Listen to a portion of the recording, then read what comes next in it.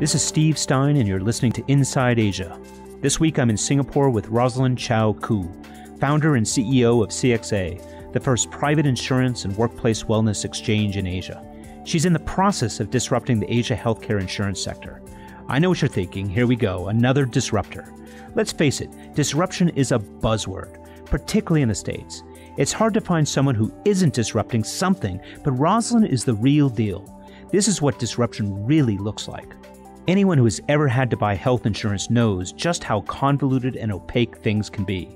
Try filing a claim. There's copays and deductibles, and even if there is someone out there who knows what needs to be done, issues remain. There's patient privacy, there's medical reimbursement, you know the drill. But maybe that's starting to change. That's what's interesting and thrilling about my conversation with Rosaline. In this episode of Inside Asia, you're going to hear how insurance is poised to become one of the last in a long line of industries to fall to disruptive forces of the internet. This is a story you've heard before. Amazon started it, then eBay, then aggregators like Travelocity. Pick an industry that hasn't been threatened or reshaped by the web. It's been a boon to consumers, a come to Jesus moment for companies, and now it's hitting the insurance industry. That's big news. Insurers have no interest in simplifying the process. They make big money by keeping data out of the hands of consumers and the employers who have to pay for health insurance. Their whole business model is based on the idea that a majority of healthy employees will make up and pay for the healthcare costs of the few who aren't so healthy. It's this playing the odds that has allowed healthcare companies to make big profits, an obscene amount in some cases. Here's where Rosaline comes in. She's launched CXA as a better, more cost effective, tailor made alternative to the insurance products offered by others. It's going to make life better for millions of people. As we find out, her secret is data and lots of it. That's right, it's data. Data analysis that's letting Rosaline and the folks at CXA even the odds that up until now have always been tipped in favor of the big insurance companies. They've been able to customize healthcare coverage to suit personal needs and requirements. She's hit upon a new business model. That's what it means to disrupt an industry. I started off by taking her back to the moment when her big idea was not much more than a distant notion. I remember you came to see me when I was at uh, my last company yeah. about four or five years ago, and you said, I have this idea. Yes. And your eyes were bright and shining, and you had this kind of view that I think we can cut through, we can break down the old model, and I have a different view on how to get it done. Do you remember yes, that? Yes, yes. So I came to Steve because Steve was my client, and Steve was an entrepreneur the same time I was. And so you introduced me to my first VC. Is that true? Yes, yes, Yen Lu Chow. Oh, right. So you introduced me, and I went to Yen Lu and started talking to him about the idea. Oh, I did. I had no idea. Yeah, actually. so oh, okay. you got me started. Oh, and, and and then what did he invest? Um, no. he ended up no, no. So he was going to invest, and actually a whole a, a large group. But at that point, I went to the MAS. At that point, I had built the prototype in my apartment. Um, I had a group of entrepreneurs who were willing to invest. I did due diligence to buy a brokerage firm, and I had gone to the regulator and asked and told them, look, I have this group of investors. We want to buy this firm. And you know what? They said, no, right. you can't. We are afraid that if you have investors, especially PE firms, they're going to come into this SME, take out all the people and sell it off. Right. So you have to be the yeah. sole shareholder. This is a really big part of the story. Um, and, and, and MAS is the, the monetary authority of Singapore. Yes. And Singapore is, a, is a, a, major financial center in, in Asia, but it's also very stringent and very conservative when it comes Super. to these things. But you haven't told us yet what the business idea was. Yes. So when I was working at Mercer, um, we had actually grown 800%.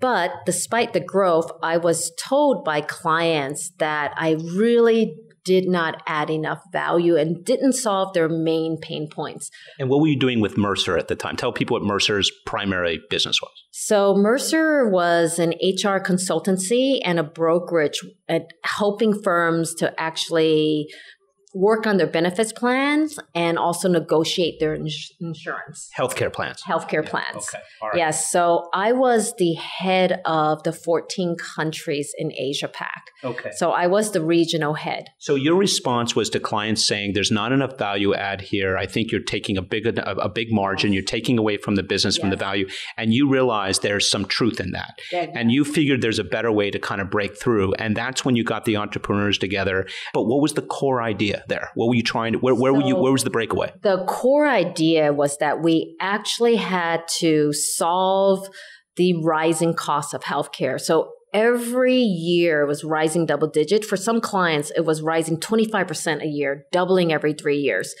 So what we needed to do was actually get at why people see a doctor and go to the hospital. We had to fix and make them healthier. So this is cost to serve. This is the what what insurance companies had to pay out to cover claims. Yes. Okay. Yes. So they charge premiums and because companies were getting unhealthier all the time and having lots of people go to the doctor and the hospitals, that's why they charge so much. So we had to get at the source of what's causing people to claim in order to lower the cost. So what I did was I actually figured out how to do it and how to build the tech. So every year for five years, I went to New York headquarters to build a business case to justify why they needed to invest in this tech so that we can correct this problem. And this tech was really data. It was analytics on yeah. usage patterns, a way that people were going and engaging with the healthcare systems in order to understand how to basically navigate, manage, and improve health in order to get lower payout. Is that right? Exactly. That's okay. exactly right. it. So we had to figure out what was causing them to claim and get them to modify their behavior so they get healthier or help them manage their chronic disease. Chronic disease is hitting Asia 10 years before the West. That's big. Can you just talk just two minutes on that? Because yeah. the changing disease patterns in Asia is a huge factor here, isn't it? It is. It is. So Asians who look skinny actually are likely to get diabetes uh, for a couple reasons. There's more abdominal fat in Asians, they have less muscle mass. Also, Asians are raised by the tiger mom, except here, everyone thinks tiger mom is a wimp. So you can imagine growing up as a child, studying and playing musical instruments, but not exercising and eating white rice, noodles, and ghee. So the diet, the stress from tiger moms and the workplace, right? And the abdominal genetics. So together, that's basically driving a shift in disease patterns from maybe traditional dengue or malaria or other things into more modern diseases yes. like heart disease, exactly. high blood pressure, things of this. Diabetes, yes. Okay.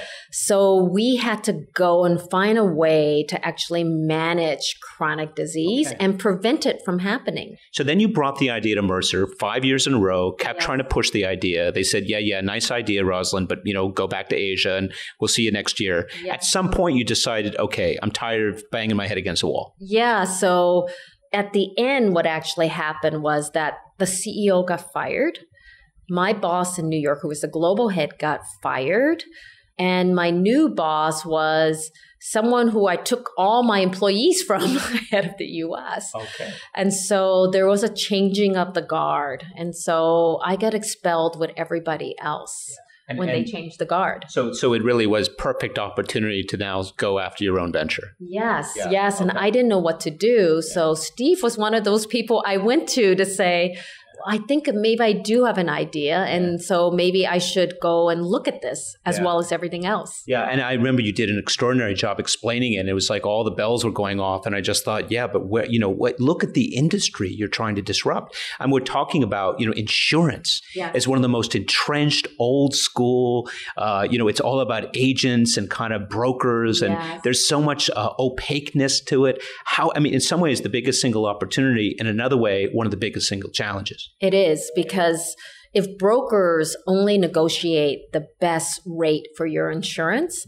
how helpful is that rather than solving and getting people healthier to lower their costs? Mm. So let's go back now. Sorry, we're jumping a little bit, but this is important little background, mm-hmm. backgrounders to, to the story of MAS, the Monetary Authority of Singapore. They said, Rosaline, great idea, like where you're going, but basically you need to self-fund it, or you need to be the pri- primary on this. Yes. We cannot include private equity firms because of the danger of them flipping it and not sticking by it. And that way we're going to approve you and give you the appropriate licensing in order to operate. So what did you do?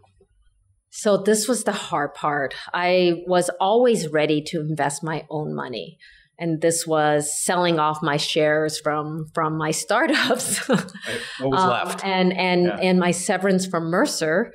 So I still remember the day that I went and found my husband's keys to his cabinet to check find out how much money he had. and so. and, and, he kept his money in a closet or not in the bank? Well, I don't know where he kept his money, but I was never concerned before. But that day I opened his cabinet with Rachel, who was employee number one. And she remembers me going in and coming back out later and saying, Oh my God, my husband has the money. I had no idea. So I, of course, asked my husband to spend not just my money, but his money. Yeah. And it's you know, our entire life savings of $5 million. But that wasn't enough. So I went to DBS and I signed a personal guarantee to borrow another five. And, and DBS is, is the, a, a, major bank here in Singapore. Yes, it's yeah. the largest bank. But because I signed a personal guarantee, I actually removed my name from all our real estate in the US because I didn't want the real estate taken away in case we lose all the money. So this was the big bet. We're all in. Yes. And that's what it took. It took 10 million in order to buy the company and, and build a platform and pay my team. Right. And and that lasted how long was that going to take you? What was the burn rate on that? So that so I do the acquisition, I open up the bank account, there is no money, and I have no more money. So there is no money. Wait, at what point there was no money? Right when I buy the acquisition. Well, that was it. So, that, so, so in fact, you did you you mismanaged. You yes, you did yes. not plan appropriately. Yes, I spent it all, and I bought the company, and we had no money. So we. I do not want to payroll. shop with you ever. so we couldn't pay payroll. Yeah. So. And that was month one. That was just a startup. That was actually you that acquired. Was day it. one. Yeah. yeah, that was day one. so what did you do? Um, so we asked all the employees if it was okay if they didn't get paid. so and because you'd managed people in the past and been so successful at it, they yes, all said they all stayed. Yeah. Now why? Um, Minnie had worked for me before. Okay. And also because we bought a company that was really profitable, it's just we had to wait for the bills to be paid. Right. So the collection. Yeah. So okay. we were just waiting collection. So we knew we had two months. So right. people weren't paid for two months. And two months later, the money came in. Okay. And this Singapore was the first then uh, insurance agency uh, broker yes. that you bought, and then you had the technology, and you had a series of people who were engineers who were developing the platform. You started to then collect data. How did you access data on patients? So we actually figured out how to build a claims app on the phone so that we could capture the data when they go see the doctor or the hospital. So we capture the data. It used to be just a physical claim receipt, but we digitized that. We also figured out how to upload from the labs the health screening information um, and to bring health screeners to work. And we also had a questionnaire asking people about their lifestyles. So to get them to, to fill it out, we actually took a picture of their face and said, we will age your face according to how many bad habits you have. Brilliant. So people could get a sense of if I do this, then that. If I do this, then that. Okay. Gamified it and made it right. engaging. But all I heard in the audience was, um, oh my God, I look like my mother. This is Inside Asia, and my guest is Rosaline Chow Koo before the break, she was telling me the story of how she purchased an insurance brokerage in Singapore only to realize she'd run out of money. She had to ask her employees to work without pay, and they did.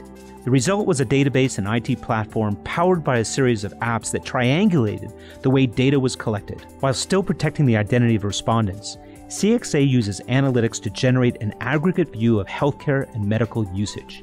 It takes a concerted effort to generate enough data in order to be statistically valid, but that's what CXA does.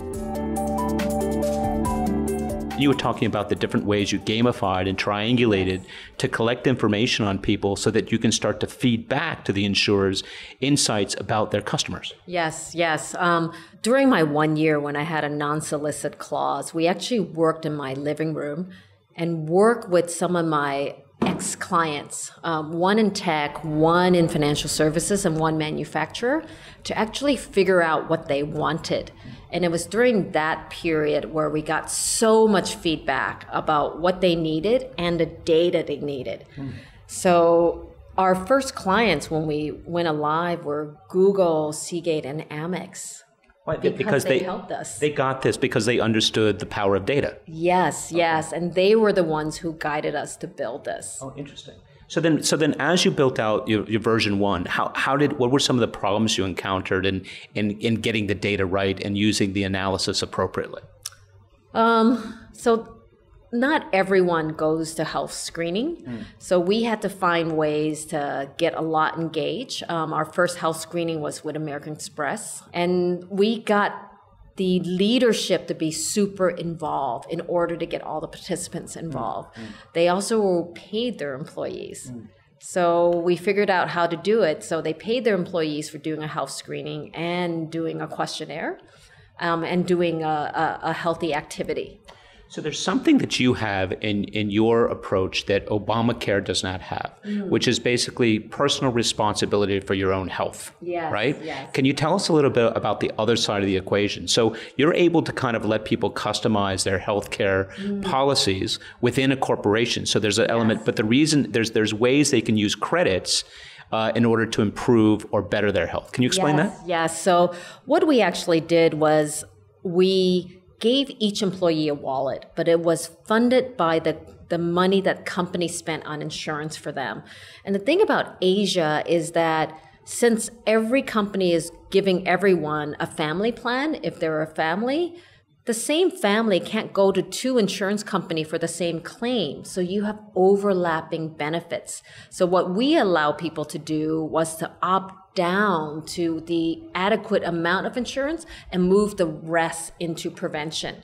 So people got to choose what was the right amount of insurance and shift some of that treatment spend into prevention spend. So based on the profile, like yes. are my kids young or old? I mean, are they healthy? Are they not healthy? Exactly. Do they have asthma? Are they athletes? Yes. Yeah. Or if you're young and single and healthy, you don't need as much as someone married with a family. Right. So you can move some of the money to to actually look better, to go to the gym, and do everything else you need. So it's a drawdown. It's a it's a wallet with a, it's it's a what do they call a um, uh, it's like a spending account. Yeah, it's, spending. Yes. So so you just draw down. Yes. So you're yes. given hundred dollars, and then you use that hundred dollars for health benefits or for exercise or other activities. Yes, yes, right. whatever you need. Okay. So explain explain some of the, and then you have to go out and build alliances and and and find partners to to support this, right? Yeah. So we. Um, found lots of gyms um, yoga, Pilates, smoking cessation, diabetes management, hypertension, everything, alcohol abuse, but no one's gone to those programs. Um, and so, and mental wellness, pain. So we actually found 800 different partners. You have 800 partners signed yes, up? Yes, on our platform so that they don't have to pay cash, the employees. They just go with our e vouchers and you know use it. So by the end of the, the policy year, if they don't use up all the money, the firm gets it back. So we found a way for them to sweep the balance into charities. Uh, so just just icing on the cake here, right? Yeah, so right. you know you can shift from treatment to prevention, and also you know shift extra money to charities. Hmm. So then you had a situation where you're looking at, you know, regional global companies. Um, yeah. Those are some of your anchor tenants.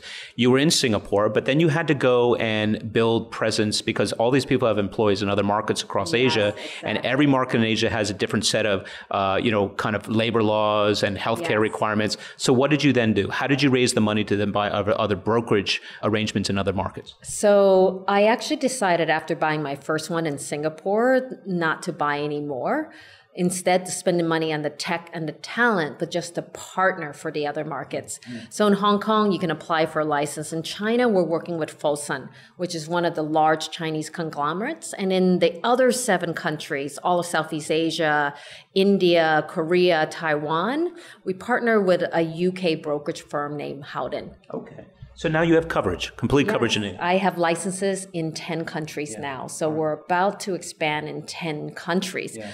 So I raised 25 million US yeah. in order to expand and buy staff in other countries and expand our platform and operations so we can support 10 countries. Yeah. And there's the little interesting story about that new investor. You want to tell us who that is? Yeah, so Eduardo Saverin is one of our new investors. He's one of the founders of Facebook really, really into healthcare and insurance and e commerce, which is what we do and he lives in Singapore, doesn't he? He does. Yeah. He does. He lives right here. So we're really lucky to have someone of his caliber here. Right.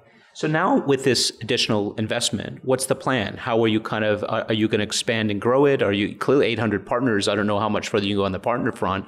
What what's the objective uh, to taking it in the next two to three years? So, a couple of things we're doing. Um, one of the other investors is the Singapore government with Philips, mm. um, and our last investor is a reinsurer. So, we're actually building a new innovation for the market. Mm. What the reinsurer is doing is guaranteeing a reduction in your premium the next three years if the company can prove that they improve obesity, cholesterol, diabetes.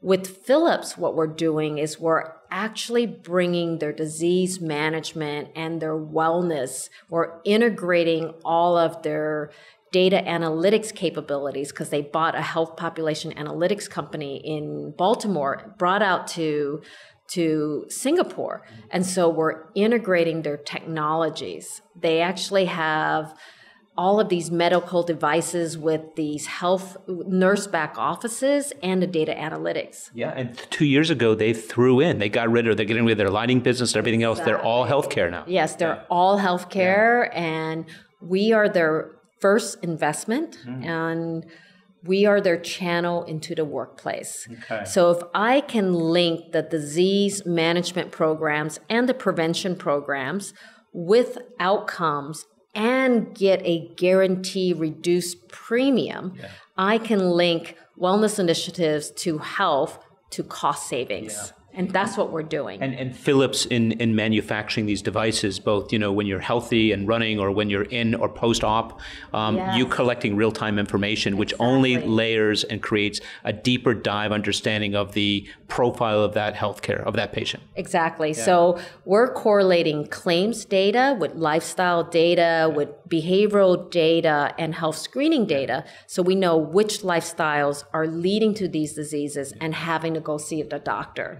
So we're reverse engineering it. Yeah. So you are to the healthcare industry, frankly, what Uber is to the taxi services and what Airbnb is to the hotels, if I'm not mistaken. Yes, we are the marketplace yeah. that integrates all the providers for the workplace. Yeah. So the second thing we're doing in the next three years is that we've just signed up five insurers who will white label our platform. Mm. So insurance companies out in Asia, don't have a platform. So we are their platform so that they could cross sell more insurances to their staff and also capture the data. But how do, don't they then cannibalize their traditional business by doing that? Yes. Mm. How are they yes. going to get through that? Yes. So I think they're starting slowly by starting with the workplace. Mm. Um, because agents don't really sell the workplace, brokers do, but now they can cross sell more insurances. Yeah. What do you mean by the workplace? So just corporations oh, okay. and SMEs. Right. So they're starting there. Um, but insurance companies do have to go electronic, yeah. and this is their way of doing it. If they don't have a platform, they can white label mine. Yeah. There's been so much banter among insurance companies about the fact, just like telcos, they have access to customer data in ways mm-hmm. others don't, and so much criticism that they're not doing enough with it. Yes. And yet, it took somebody like you and CXA to step in and really kind of rattle the cages a little bit, get people to realize we really do need to move into data. We do, we mm. do. Data is the key to understanding your customers, which insurers didn't because they use brokers and agents. Right. So this gives them the understanding they need. So they were disintermediated by the brokers. They didn't have access. They didn't own the, exactly. the customer experience. Not at all. Yeah. Not at all. So, but old brokers only sold and the insurance companies did the work. Mm-hmm. I want to be different. So our whole proposition is if you appoint me as a broker, you get my platform for free. Why would you go back to an old traditional broker like a travel agent who only negotiated the price? Right. Yeah, exactly. Why don't we go electronic entirely and do this? So why wouldn't you come if it's exactly the same cost? And what you're doing is you're buying your insurance through me, but I convert it to prevention, disease management, and lower costs. Yeah. Well, you heard it here, Rosaline Chow Koo. She's on her way, and uh, this time it sounds like you found a career. Yeah, and we our company just got value at 100 million. So now finally people are coming to join me. Before we were valued at 100 million, all the veterans didn't want to join. Yeah. So it's great. Yeah. Amazing success story. Uh, we're going to be watching it in the months and years to come. And thanks so much for taking time out. Thank you. That was my conversation with Rosaline Chow Koo, founder and CEO of CXA the first private insurance and workplace wellness exchange in Asia.